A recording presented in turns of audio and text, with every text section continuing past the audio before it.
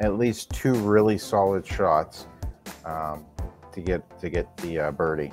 So you're going to see uh, off, off of hole eight's tee. It is a par four. It's 501 feet.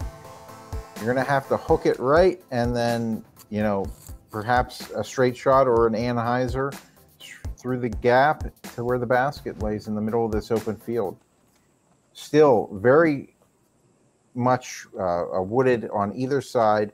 If you get into those woods, you're in a lot of jail.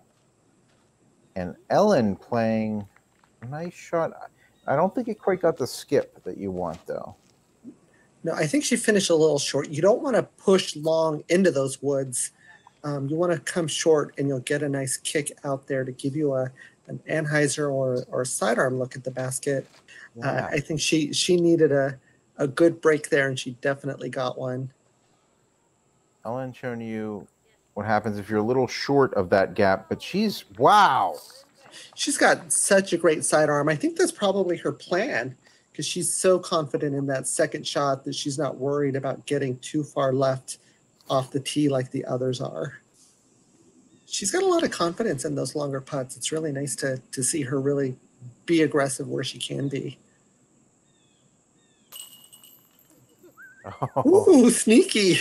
She got it in just off the top of the cage. She knows she got away with that one.